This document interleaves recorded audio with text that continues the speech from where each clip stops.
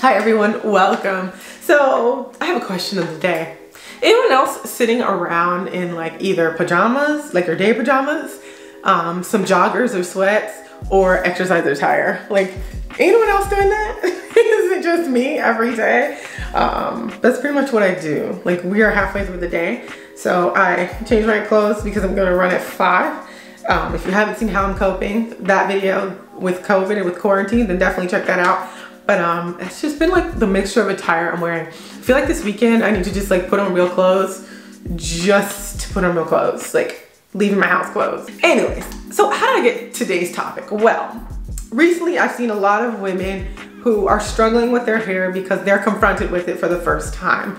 And so they're at the point where they've got to take out whatever install they had or they're really just for the first time having to really deal with their hair because they can't go to their hairstylist, they don't have access.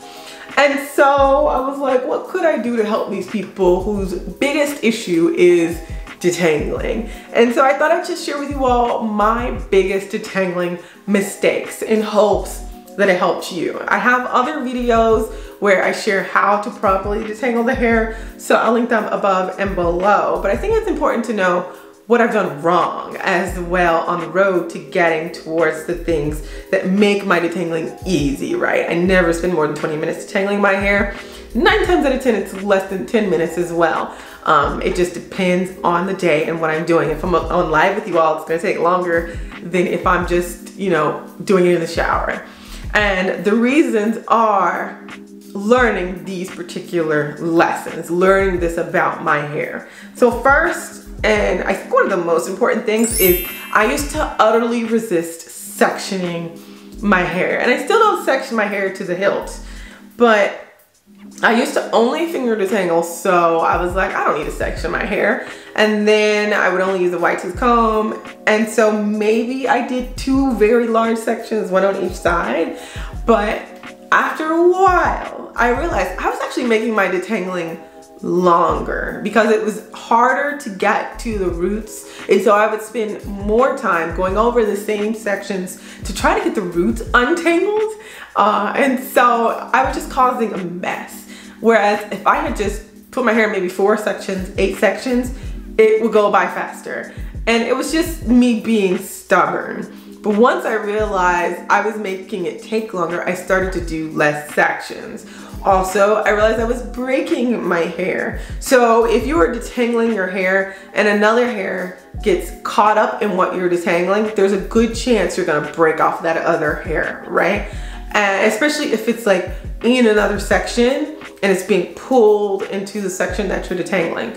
So make sure you cleanly section your hair so you're not breaking it off and you're not causing your detangling session to take longer. I resisted it for so long.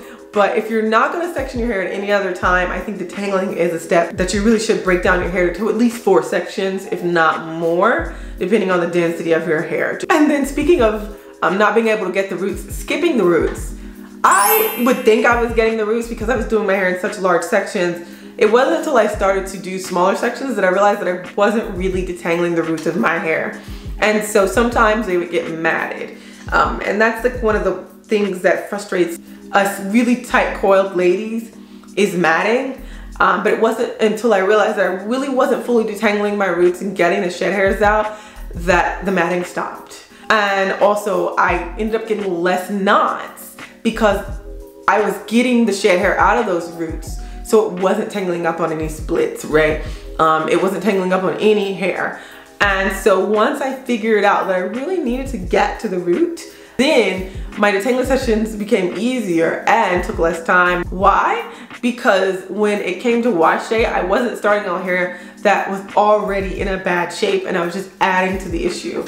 Instead, I, it took me like a good, I don't know, 45 minutes one day to make sure I was getting through all of my hair um, make sure I was getting the roots. I'll link my video of a thorough detangling routine. Um, make sure I was getting the roots. After that, I never had to do it again because I was sectioning my hair and making sure I was getting to the roots every single time. But after that one time of really sitting down and really paying attention to my roots, then everything got better, but I had to take that time to get my roots. And I learned that hard lesson. You can't skip the roots. You think you can, you want to, but in the end it will bite you down the road. And then speaking of shed hair, not getting the shed hair out. Um, I was using a, a wide tooth comb only to detangle my hair at one point. Um, and my fingers, I figured out, was doing a better job of getting the shed hair out than that wide tooth comb. The wide tooth comb was getting my tangles out, but I needed a comb with closer together um, tongs is what I keep calling them. That's not what they are, but closer together sections in order to get all that shed hair out. And then again, that cuts down on knots, which cuts down on your detangling time. And so really getting the shed hair out was integral. Now I get the shed hair out before I even wet my hair to take away some of the tangling that will occur from the shed hair being in there once you wet your hair um, with the shower stream, I should say. Shed hair can be the biggest culprit and making your wash days take significantly longer, especially if you have split ends. So it is really important to get that shed hair out to prevent fairy knots, to prevent the hair from sticking together. It all comes from the shed hair just being stuck in there. And if you have split ends, it just compounds the problem. If you have matted roots, it compounds the problem and makes your detangling sessions take hours. So make sure you're getting the shed hair out. It doesn't have to take a long time. If you haven't done it before, then it's gonna take you a long time. It will. But if you do it regularly, it won't take nearly as much time every single week. You shed 80 to 100 hairs a day. And so if you're not getting that out, you're just gonna have problems. And then another really, really important one um, that I still see a lot of people make this mistake is not softening the hair. You need to soften the hair, whether you are applying a deep conditioner, whether you're just um, applying water, for some people that's enough. You need to soften the hair to prevent breakage. If you detangle hair that is dry or is not hydrated, not moisturized, it will break. So your detangling sessions are just completely making sure that your hair remains unhealthy, right? It is breaking the hair off at a bad point. So your ends are gonna split and you're gonna end up with mid-shaft splits or you're gonna break your hair off and end up with uneven hair that is not, you think it's not growing, but it's growing. You're just not retaining the length. You keep breaking it off. Soft hair is pliable. Soft hair can be styled. Soft hair can be detangled. Soft hair is workable, whereas hair that is dry and even just like not desert dry, just not softened, hair is harder to detangle. It, it, takes longer to detangle. So soften the hair and you will have shorter, easier detangling sessions. And then coupled with softening the hair, you need slip. That is the number one thing. Any naturalista who's been in the game for a bit will tell you, you need slip. A lot of the times people are just detangling with water and oil. And if your hair already has slippy product in it, that can work just fine. If it doesn't, then though you may detangle the hair, it's not gonna be as fast as it could be as if you just added slip. Um, I used to think, okay, detangle the hair with deep conditioner, not taking into account that the deep conditioner really did need to have slip. So sometimes I would use a deep conditioner, my hair would be, you know, hydrated, but the deep conditioner didn't have any slip. And so I was really working against my hair, causing more friction, which meant I was causing more roughening and more tangles. Whereas if I had slip, like lubrication on my strands, the tangles will melt out faster and easier, especially if you're using brushes and things.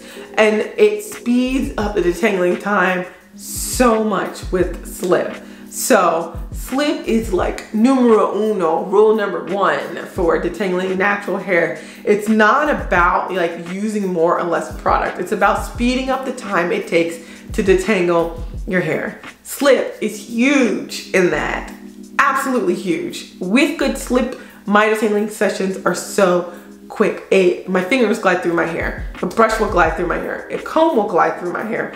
Without slip, I'm going to be picking and picking and I will get it detangled, but it's gonna take more time, probably twice as much time than if I just had slip. Those were my biggest detangling faux pas along the way to discovering how to detangle my hair in such a quick amount of time. So in the comments below, let me know your biggest detangling mistakes help others out, they need you. and in the description box, I will leave links to my detangling videos as well as my detangling brush reviews because they might prove helpful as well.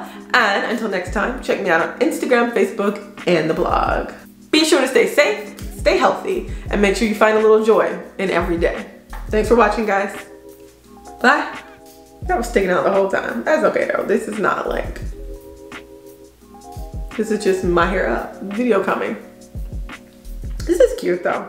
I used to wear my hair like this when I wanted to stretch my twists as they were drying. I would like go, like leave, do this to leave the house and it's just like a really cute updo.